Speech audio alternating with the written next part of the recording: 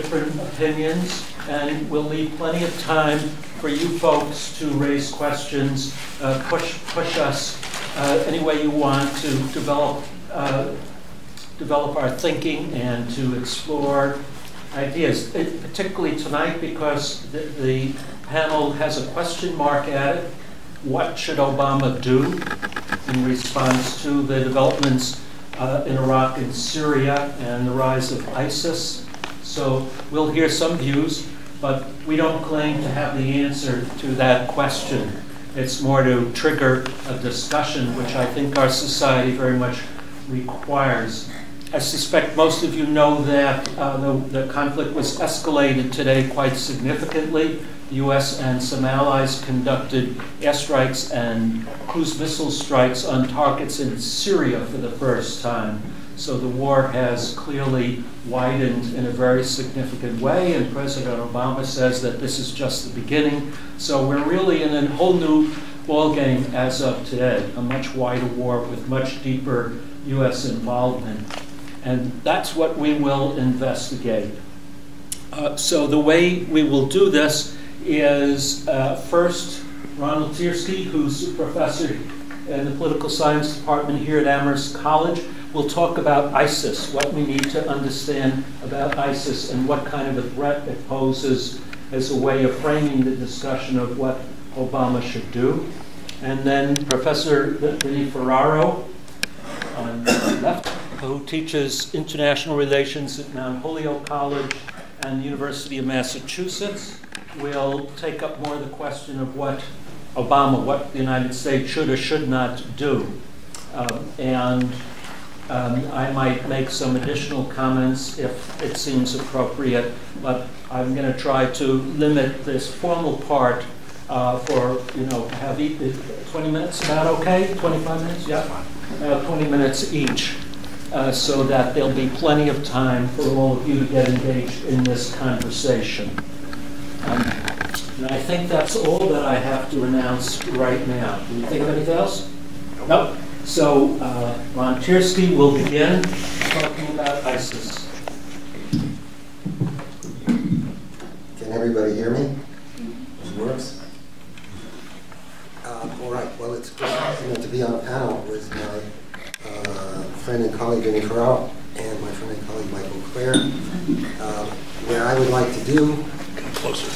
So what I'd like to do is uh, talk about ISIS. In particular, I may have a thing or two to say about uh, what Obama should do or maybe what's happening anyway. Uh, but my thoughts about that will come out in the question period maybe in reaction to something. Is the microphone turned on? I'm not sure. Pardon me? Is it turned on, the microphone? Yeah, you, I think you have to bring it closer. Okay, sorry. Is that better? Yes. All right, I'm, I'm glad to oblige. Now, I'm writing a little piece on this, and um, so if you'll permit me, I'm going to more or less uh, read it with interpolations. Uh, uh, it's more concise than what I might, um, you know, improvise. So here's here here is how I would uh, analyze ISIS and its and its uh, policy in international relations in general. Every government's foreign policy in any geopolitical relationship is made with respect to every other government's foreign policy. In a crisis situation, this uh, interpenetration, this action-reaction of uh, foreign policies is especially evident. Uh, any government has to calculate what other governments are doing as part of deciding yourself do. And this is part of what uh, President Obama has to think about. He's not just making foreign policy, he makes his policy in relation to what other governments are doing in a particular situation, in a particular context, and with respect to what's going on elsewhere in the world at the same time. For example, uh, Russia and uh, Ukraine. Now, um, it seems to me that in almost all the American media commentary uh, about uh, what uh, the United States should do, what Obama's foreign policy might be, the emphasis is on Obama himself and on the United States. I think this is uh, inadequate and uh, it requires a larger view. So what I'd like to do is to talk about what is surprisingly little analyzed in the problem. That is, let's start with this. What is the foreign policy of ISIS? ISIS has a foreign policy. It's not just there with a lot of guns shooting in every direction. ISIS has a foreign policy. It has a strategy, uh, which some of you may know, some of you may not know, and it has a goal, which is not simply to defend the territory that it's already uh, seized. So first I'd like to say a few words about ISIS itself. What is ISIS? What is the so-called Islamic State? Uh, we could say that ISIS is four things at the same time. It has four faces. First, ISIS is a political movement, a geopolitical movement that claims to be based in religious motives religious principles. I have no doubt that many of ISIS, of the ISIS fighters, perhaps most who could say, are really believers, that they believe in the mission of ISIS and the Islamic State as defined by the leadership. And you find documents, I don't know if you've gone online and Googled ISIS and Googled the Caliphate uh, plans, you find um, enough to, uh, to make you think. Uh, so that's the first thing, a political, geopolitical movement that claims to be based on religious motives. Second, ISIS is a terrorist operation which uses uh, terrorist actions, terrorism as a tactic to achieve certain ends.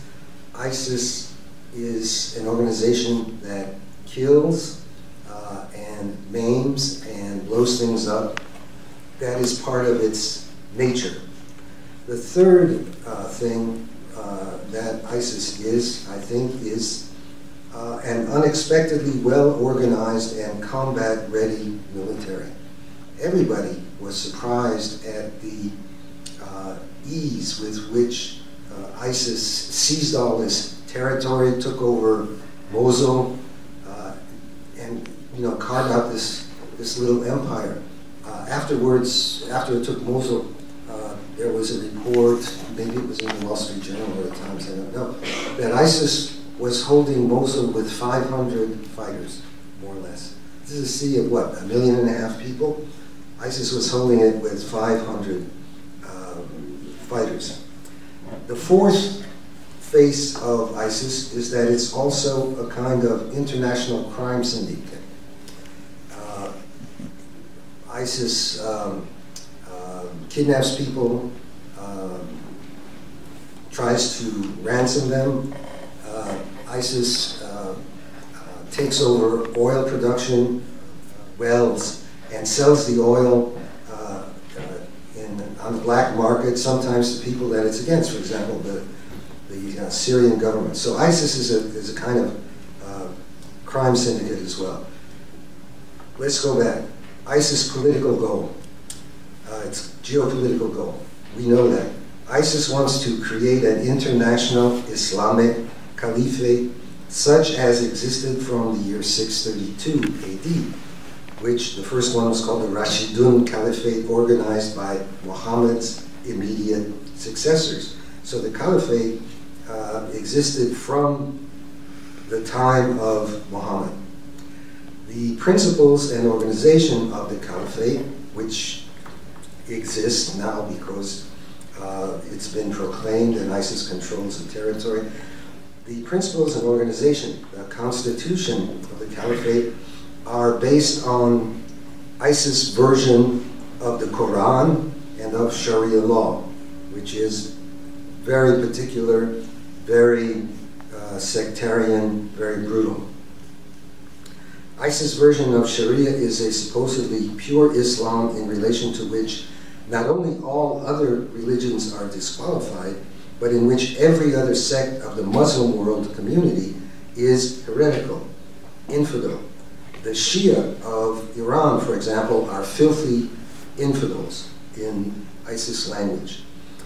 Furthermore, ISIS believes that even other jihadist groups are infidel, an example being Al Qaeda, the other jihadi groups fighting in Syria as well. Now, let's compare uh, ISIS and Al Qaeda. ISIS is different from Al Qaeda in its strategy and in its goal.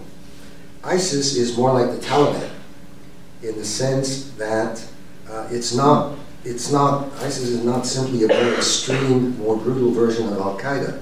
Al Qaeda is an international terrorist organization whose actions are designed to be an agent provocateur that incites backlash by the target states.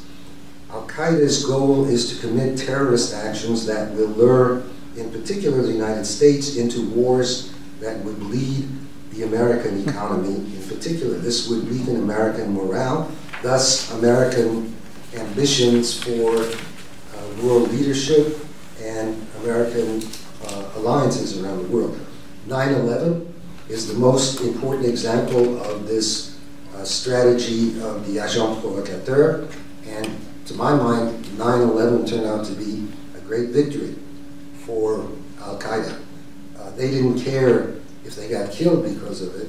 What they cared about was the effect that it uh, achieved, and it was a tremendous effect. It's, the United States has has poured so many lives and so much money into the uh, war on terror because of 9/11. By contrast with Al Qaeda, ISIS is more like the Taliban in that ISIS wants to seize territory from existing states, Iraq, Syria, and then turn this territory into a new kind of state, a Muslim caliphate that claims, the caliphate claims authority over the entire Muslim world. We all saw on television uh, the, um, uh, you know, the video of uh, Caliph Ibrahim's speech, Abu Bakr al-Baghdadi's speech in the mosque in Mosul where he dressed in black, he proclaimed the, the caliphate and,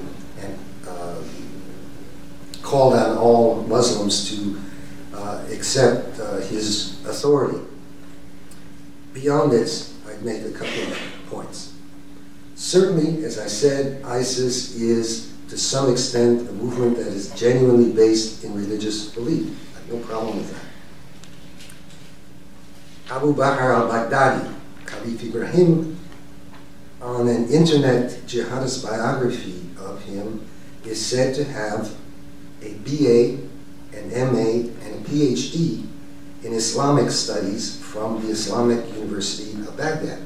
I'm sure that that uh, al-Baghdadi is a complicated character, uh, but he does he has a a uh, let's call it an academic international uh, foundation in um, in uh, in Islamic studies and in Sharia uh, law. We need to make sense of ISIS in terms other than the simple terms, the simplistic terms uh, given to us by, for example, uh, President Obama. Obama calls ISIS a cancer. Well, this is a metaphor, and it's, a, it's not a good metaphor. Uh, Cancer is you know, physical disease. We understand what he means. Uh, ISIS is a tumor that could metastasize. What I would say is this. ISIS, in my mind, is a new form of fascism. Let's call it fascism with a religious face. We know what fascism is. We might talk about what the uh, exact definition is, but we, we know what fascism was. ISIS is a form of fascism. In this sense, I would say Nazism was a fascist movement with a nationalist face, and Stalinism was fascism with a socialist communist face. Anybody that wants to talk about that, um, you know, that might be controversial to define Stalinist communism as fascism with a socialist communist face. It's not essential, but somebody might want to talk about it. ISIS fighters, therefore, can be genuinely religious fighters who commit barbarous crimes in the service of what they think are the Quran's true commandments and uh, Allah's will, just as the Nazis were true believers who committed abominable crimes in the service of Nazi ideology. Same was true of communist Stalin's true believers. Uh, I would say, to conclude about this aspect of ISIS, for many of the ISIS fighters, it is also a great adventure. It's a kind of thrill. It's a lyrical period in their lives where they are participating something in something that is extraordinary to them and lifting them out of the uh, lives that uh, they were leading before. Uh, let us not think that beheadings are designed only to terrorize and to agonize the outside world. The beheadings are also designed as a thrilling experience for those who do them and those who might like to do them. We all saw the video of the London accented execu executioner, um, Jihad Johnny, the fearsome decapitator dressed in a kind of Lawrence of Arabia outfit, brandishing a knife and wagging his finger at the President of the United States. But let us ask ourselves, who is Johnny Jihad? Where was he a few years ago? When did he get hooked up with ISIS?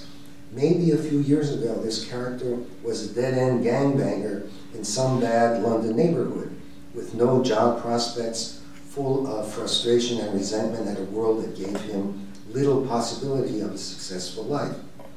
Maybe this fellow was incensed at the centuries of stagnation of Muslim societies and the humiliation by the West of Islamic governments through the Middle East, Central Asia, and the Indian Ocean.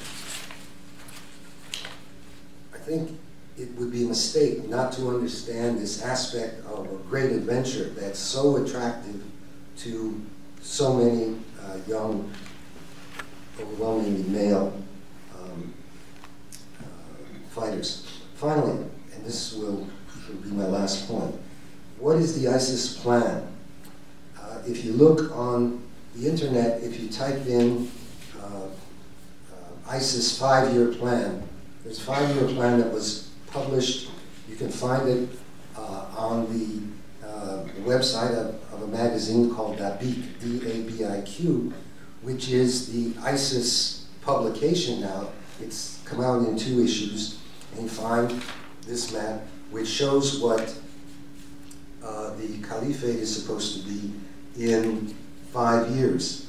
It, it is to encompass um, Iraq, Syria, Kurdistan, uh, Saudi Arabia, the Maghreb, uh, Morocco, and uh, Libya and Algeria, uh, Central Africa, uh, Iran, Spain, where Islam ruled for seven centuries, Eastern Europe, parts of Eastern Europe, and it's you know amazing ambition. Spain is going to be taken in the year 2020, according to them. Uh, there is even an order of conquest. And if you're permit me, I'm going to read from uh, several uh, lines which gives you a sense of what ISIS is about. In the current stage, ISIS is concentrating on consolidating its rule in the parts of Iraq and Syria it has already conquered and on expanding its rule in these countries, beginning with areas where there is a Sunni majority. The next stage will be conquering the bordering Muslim states. The second issue of this magazine, Dabiq, uh, cites a hadith of the Prophet that precisely defines the organization's order of priorities following the establishment of the state. First, Saudi Arabia, then Iran, and ultimately what they call Rome, which means Christendom. What's, so the first stage involves expanding the caliphate to take over Sunni Muslim countries, which means that the struggle against the West is put off. And al-Baghdadi said specifically, he's not trying to attack the United States. The first stage of Muslims around the world is the duty of hijrah, that is migration to the Islamic Caliphate state. Uh, you remember in Baghdadi's speech, he called on physicians and lawyers and professional people to come to the Caliphate. It was an amazing uh, performance. So, uh, Islamic State, ISIS, has, has a goal, a geopolitical goal, which is to reoccupy and take back the lands that Islam uh, once uh, ruled. What this does is to put ISIS directly in the path of, it makes ISIS directly a threat to all the countries it plans to take over. In terms of ISIS foreign policy, they have created a perfect storm for themselves because they're threatening every possible country around them. The idea of a coalition against ISIS, no matter how hard it is to put together, makes perfect sense in principle because all Muslim countries uh, through Central Asia are threatened by, um, by ISIS. Uh, and so you might ask yourself, why does ISIS put itself in this position of threatening everybody? And that's an interesting question to which you know, I don't know the exact answer. One would, one would have to uh, know something about uh, Baghdadi's psychology and those around him. But these are just a few beginning uh, points uh, uh, putting ISIS in a larger context, talking about what it is, uh, what it, uh, what, how we can understand it in terms that we can understand, so we don't have to um, remain with uh, um, diluted, simplistic metaphors. For example, uh, Obama's um, uh, calling it a cancer. So I, you know, that's what I have to say um, to start with about ISIS Professor Ferraro to go on. Before Vinny takes over, let me just ask you one question, if I may. What do you think are its capacities, its capabilities to carry out its plan? It's not going to carry out that plan. That's obvious. And the, the attacks on ISIS in Syria today show that. This thing has to be stopped, in my opinion. This thing has to be stopped, and it's going to be stopped. Uh, you cannot expect Turkey, for example, to allow this uh, state, uh, this terrorist, barbaric state, to continue to exist. It's going to threaten Turkey. Um, Iraq. Iraq is a country that's gone through so much. The Iraqi people have gone through so much. Um, uh, they will do something. They will get together. It'll be difficult. It won't be perfect. In particular, the Kurds, the Peshmerga, going to get together. The Saudis are already involved. Um, they are uh, accepting a training base for um, fighters against uh, against Islamic State on their territory. Um, France, and you know, started to bomb already. So, if you want my view at the end. ISIS, according to recent estimates, has perhaps 50,000 fighters. Uh, 21,000 in uh, Syria and 30,000 more or less in Iraq. 15,000 of them are foreign fighters. A lot of those foreign fighters showed up after this thing began. Now everybody knows how difficult it is to incorporate people into a fighting force. My suspicion is that ISIS is more fragile than it looks. And everything is there, um, this, this implicit um, uh, self-interest coalition of, of outside countries is there such that I, I think that after enough ISIS fighters start getting killed, it's going to start to disintegrate. Um, their fighters are going to say, well, you know what, this is not such a great idea. I think that there will be revenge killings for the executions of Syrian soldiers and Iraqi soldiers.